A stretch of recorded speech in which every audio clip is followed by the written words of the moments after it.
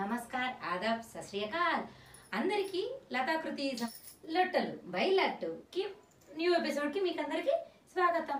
Already subscribe చేశారా? Good subscribe ఇంకా చేయలేదు వెంటనే సబ్స్క్రైబ్ నొక్కండి. ఎందుకంటే చాలా చాలా వెరైటీ వంటలు అండ్ రొటీన్ వంటలకి వెరైటీ కాంబినేషన్స్ ఏవేవి ఉంటాయో నేను మీకు చెప్పబోతున్నాను. వాటితో పాటు చిన్న చిన్న సౌందర్య చిట్కాలు కూడా చెప్తా ఉన్నాను కదా. సో వెయిట్ చేయకుండా వెంటనే సబ్స్క్రైబ్ చేసి ఛానల్లోకి వెళ్ళిపోదాము. ఓకేనా రెడీ దోశల్లోకి ఏ కాంబినేషన్స్ తెలుసుకోబోదు.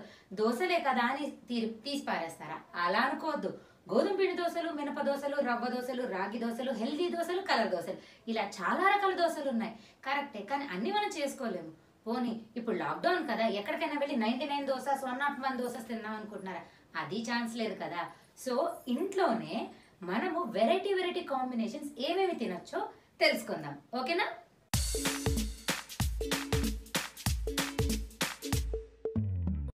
మీకే కాంబినేషన్స్ తెలుసు. కొబ్బరి చట్నీ పల్లీ చట్నీ నువ్వుల చట్నీ లేదా కారం కదా? ఇవే కాకుండా ఇంకా చాలా వెరైటీస్ ఉన్నాయి తెలుసా? మీకు చెప్పడం కోసం నేను తెలుసుకుంటుంటే అబ్బా! అసలు ఎన్ని రకాల టేస్ట్లు చేశాను తెలుసా? అవన్నీ మీతో ఎప్పుడెప్పుడు చెప్పాలని వెయిట్ చేస్తున్నాను. సో ఎవ్రీ మండే మండే మన కుకింగ్ ఎపిసోడ్స్ అన్ని నేను పెడుతూ ఉంటాను. సో తప్పకుండా మిస్ కాకుండా చూడండి. First combination. చట్నీ తెలుసు కదా మీకు దోశలోకి. దాంతో పాటు వన్ ఆఫ్ మై ఫేవరెట్స్ ఏంటో తెలుసా? పండుకారం పండుకారం ఏంటి అంటే సీజన్ అప్పుడు పండు మిరపకాయలు దొరుకుతాయి అనమాట అవి మామూలుగా పచ్చిమిరపకాయలు ఎర్రగా మారిపోవడం కాదు. పండు మిరపకాయలను దొరుకుతాయి అనమాట వాటిని పచ్చడి చేసి పెట్టుకొని సంవత్సరం అంతా నిల్వ ఉంచుకుంటారు తినాలనుకున్నప్పుడు కొంచెం పచ్చడి తీసి పోపు వేసుకొని ఉల్లిపాయతో పాటు కలుపుకుంటే సూపర్ ఉంటుంది. సో మామూలు ప్లెయిన్ దోశలో ఇలా పండుకారం చట్నీ పెట్టుకొని తినొచ్చు. లేదు అంటారా? నేను మిక్స్డ్ దోశ అంటాను. అది ఎలా అంటే దోశ వేసిన తర్వాత ఒక సైడ్ చట్నీ ఒక సైడ్ కారం. ఇలా రాసుకొని దాన్ని ఫోల్డ్ చేసుకొని అటు ఇటు. పైన కొంచెం నెయ్యి రాసుకొని తిన్నారనుకోండి అబ్బా! భలే ఉంటుంది తెలుసా? దీన్ని మిక్స్డ్ దోశ అంటాను. ఇలాగే రెండో కాంబినేషన్. ఏంటి అంటే ఎర్రకారం ఎర్రకారం ఏంటంటే ఉల్లిపాయలు ఎండుకారం కొంచెం ఉప్పు చింతపండు చక్కెర ఆర్ బెల్లం తగినంత. ఇదంతా కలిపి గ్రైండ్ చేసి పెట్టుకుంటే దీన్ని ఎర్రకారం అంటాం. దీన్ని దోశ మీద రాసి పైన పప్పుల పొడి పప్పుల పొడి మొన్న ఎపిసోడ్లో చూపించాను కదా పప్పుల పొడి కొబ్బరి పొడి. ఆ పప్పుల పొడి దీని మీద వేసుకుంటే ఈ దోశకి ఒక పేరు ఉంది. ఏంటో తెలుసా? కడపకారం దోశ అంటే ఇంకేదో కాదు. ఈ ఎర్రకారం మీద పప్పుల పొడి చల్లడాన్ని కడపకారం దోశ అంటారు. ఈ ఎర్రకారం విడిగా నంచుకొని తినాలనుకోండి నెయ్యి వేసుకొని తినండి చాలా రుచిగా ఉంటుంది. ఇప్పుడు మూడో వెరైటీ మూడో వెరైటీ ఏంటో తెలుసా? నాకే చాలా ఆశ్చర్యం వేసింది ఇలాంటి కాంబినేషన్ కూడా ఒకటి ఉంటుందా? అదేంటి అంటే ముద్దపప్పు మగ్గబెట్టిన కారం. ఇలాంటి కాంబినేషన్ తింటే ఎలా ఉంటుంది అనుకున్నాను. తిన్న తర్వాత అది కూడా సూపర్ తెలుసా? మగ్గబెట్టిన కారం ఎలా అంటే ఉల్లిపాయలు మిర్చి మినపప్పు జీలకర్ర ధనియాలు అన్ని కలిపి మగ్గబెట్టి మిక్సీ చేసేసి నెయ్యి పచ్చడితో పాటు పప్పు అద్దుకొని తినండి. అదుర్స్ అని మీరు తప్పకుండా నెక్స్ట్ వెరైటీ నా పాటికి నేను మాడిపోయిన మసాలా దోశ తింటుంటే ఏంటిది? ఈ డైలాగ్ ఇక్కడ విన్నట్టుంది కదా? కానీ మీకు అర్థమైంది అనుకుంటే రెఫరెన్స్ ఏంటో? మసాలా దోశ.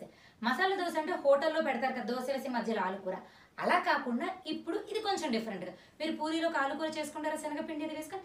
ఆ కూర అన్నమాట. ఆ కూరతో పాటు పండు కారంతో కాంబినేషన్ తినండి చాలా బాగుంటుంది. ఎలా అంటారా?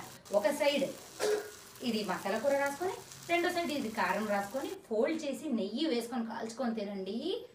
చాలా బాగుంటుంది. తిన్న కష్టంగా ఉంటుందా? నేనైతే కనుక ఫోర్క్ నైఫ్ యూజ్ చేస్తాను అనమాట చాలా బాగుంటుంది. అండ్ కాంబినేషన్ అయితే మాత్రం సూపర్ అంటే ఇంట్లోనే మనకి బయట మసాలా దోసుకుంటే ఇంకా వెరైటీగా ఉంటుంది అనమాట ఇది తప్పకుండా ట్రై చేయండి. ఓకేనా ఇంకా లాస్ట్ ఏంటి అనుకుంటున్నారా? ప్లెయిన్ దోశనండి ఇవన్నీ కాంబినేషన్స్తో నంచుకొని తింటే ఎలా ఉంటుందో చెప్పాను. కానీ నేను చెప్పిన ప్రతిదీ కూడాను సపరేట్గా అంటే దోశ విడిగా ఇది విడిగా తినండి. అది కూడా చాలా డిఫరెంట్ టేస్ట్ ఉంటుంది. ఓకేనా? అదే. అండ్ ఇవాళ రెసిపీ ఏంటి అంటే దోశ రెసిపీ దోశ రెసిపీకి మనకు కావాల్సినవి ఏంటి? ఒక కప్పు మినపప్పుకి మూడున్నర కప్పులు బియ్యం కొంచెం మెంతులు. అవన్నీ కలిపి ఐదు గంటలు లేదా ఇంతకంటే ఎక్కువ నానబెట్టి గ్రైండర్లో వేసుకొని ఒక రాత్రికి ఫర్మెంట్ చేసుకుంటే సరిపోతుంది. నెక్స్ట్ డేకి ఆ బ్యాటర్ కన్సిస్టెన్సీకి తగ్గట్టు వాటర్ యాడ్ చేసుకొని చేసుకుంటే పర్ఫెక్ట్గా వచ్చేస్తాయి మీకు. ఓకేనా సో తప్పకుండా మీరు అన్నీ ట్రై చేస్తారు కదా?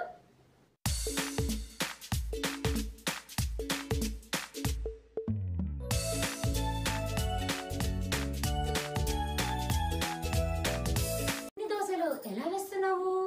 ఆకలి రాబాయి ఆకలి అన్నారు ఇది కూడా ఒక మూవీలో డైలాగ్ ఇదేంటో గెస్ట్ చేస్తూ ఉండండి.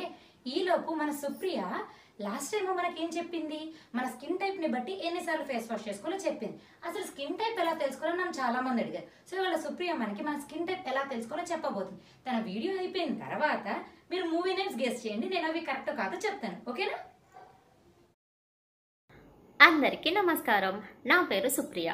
లాస్ట్ వీడియోలో మనం స్కిన్ టైప్ని బట్టి ఎన్నిసార్లు ఫేస్ వాష్ చేసుకోవాలి ఎలా ఫేస్ వాష్ చేసుకోవాలి అని తెలుసుకున్నాం కదా? ఈ వీడియోలో మనం స్కిన్ టైప్ని ఎలా ఐడెంటిఫై చేయాలో తెలుసుకుందాం. మన స్కిన్ ఎంత ఆయిల్ అండ్ సీబం ప్రొడ్యూస్ చేస్తుంది అనే దాన్ని బట్టి మన స్కిన్ టైప్ ఏంటి అనేది డిసైడ్ అవుతుంది.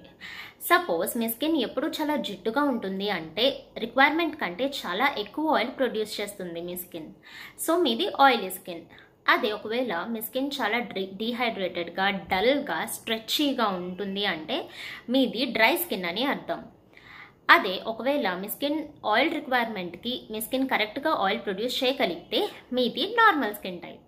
ఇంకొక స్కిన్ టైప్ ఉంది that is combination skin combination స్కిన్లో జనరల్గా టీ జోన్లో చాలా ఎక్కువ ఆయిల్ ప్రొడ్యూస్ అవుతుంది. టీ జోన్ అంటే forehead and nose region మిగతా ఫేస్ అంతా డ్రైగా కానీ నార్మల్గా కానీ ఉంటుంది. మన స్కిన్ టైప్ చాలా ఫ్యాక్టర్స్ మీద డిపెండ్ అయి ఉంటుంది. For example climate location food lifestyle ఇలా చాలా ఫ్యాక్టర్స్ మీద డిపెండ్ అయి ఉంటుంది. అందుకే జనరల్గా మనం సమ్మర్స్లోని ఎక్కువ ఆయిల్ని ఎక్స్పీరియన్స్ చేస్తాం అండ్ వింటర్స్లోని ఎక్కువ డ్రైనెస్ని ఎక్స్పీరియన్స్ చేస్తాం. మన స్కిన్ టైప్ అండ్ క్లైమేట్ని బట్టి మన స్కిన్ కేర్ని చేంజ్ చేసుకుంటూ ఉండాలి. హోప్ ఈ వీడియో మీకు హెల్ప్ అయింది అనుకుంటున్నాను. Thank you